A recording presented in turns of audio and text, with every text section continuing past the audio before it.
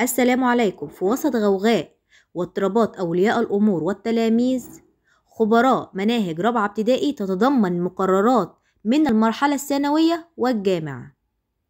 ما زالت أزمة أولياء الأمور والطلاب مع مناهج الصف الرابع الابتدائي هي حديث الساعة نظرا لإضافة مقررات على الطلاب وصفها أولياء الأمور بالطويلة والمعقدة. وزير التعليم يوضح حقيقة زيادة مواد الصف الرابع الابتدائي من خمس إلى 13 مادة. تحدث الدكتور طارق شوقي وزير التربية والتعليم الفني قائلا أكذوبة زيادة مناهج الرابعة الابتدائي من 5 إلى 11 مادة.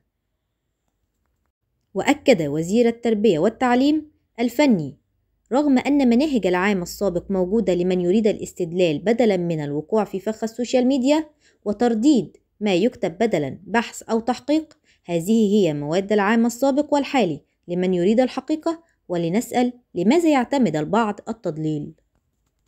كما قال أيضا تنوعت وسائل الهجوم على جهود الدولة المصرية لتطوير التعليم قبل الجامعي وتقديم الأفضل لأبنائنا في مدارسنا الحكومية وتردد على مواقع التواصل فيديوهات استغاثة ركيكة على اليوتيوب أن المناهج كبيرة والمواد كثيرة وأنها زادت من خمس مواد إلى 13 مادة.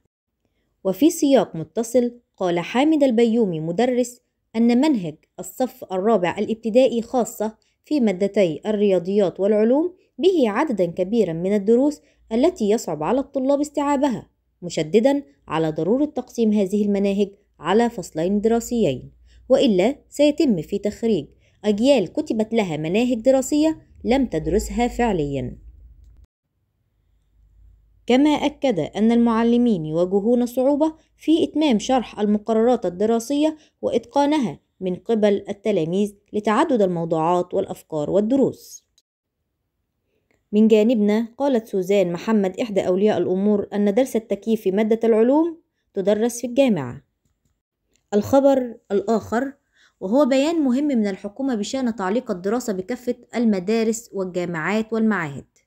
لقد تصدر هذا البيان ال social media اليوم وأمس.